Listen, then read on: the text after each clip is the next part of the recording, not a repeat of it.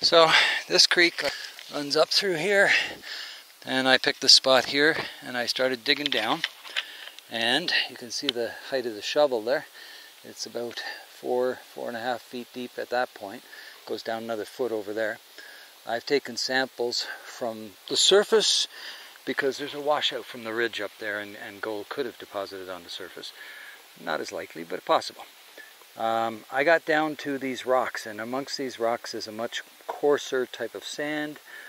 I took samples down there, and a sample from underneath the rocks at the very bottom. Um, well, not the very bottom, but as far down as I could get right now. And I'm going to take those home and process them. So the samples are simple. Dirt in a bag. Right? Just a small sample over and over all the way down. It's all screened already. You can see some of the rocks here that get screened out. Um, these are some of the larger boulders. There's quite a bit of iron in this one. I mean, literally, it, it is uh, flaking. You can hit it, and it actually flakes off, and you can see the the rust or the the minerals all, yeah, breaking up.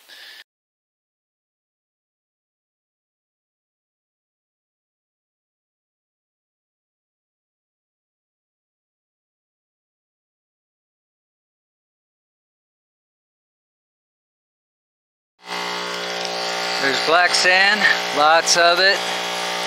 That's in the very uh, bottom of the pit that we're checking right now. All right, I don't know if you could hear me over this thing. Uh, there's lots of black sand showing up now. We haven't had any until this load. Um, we do have other sparklies in here. Whether or not there's any gold so far, I don't know. But we're getting to where the black sand is. That's down at the bottom. So that would indicate at one time there was river there, yeah. So we have found an ancient river.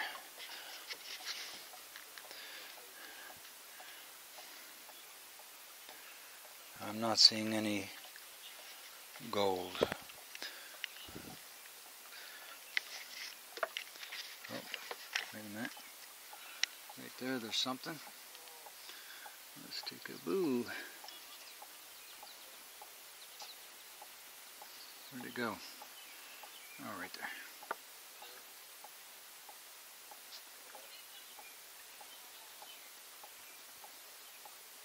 Looks like some kind of lead. Could be fool's gold, could be lead. Something uh, that's shiny that when you put it in the shade it loses its shine. Fool's gold, fool's gold will do that on you. And there's quite a bit of that here. So iron pyrite basically. Um, we're getting to sand and iron pyrite and that's a good sign because where those are, that's where you generally find your gold has settled. Alrighty. Well, that's enough of this for now. Turn this thing off.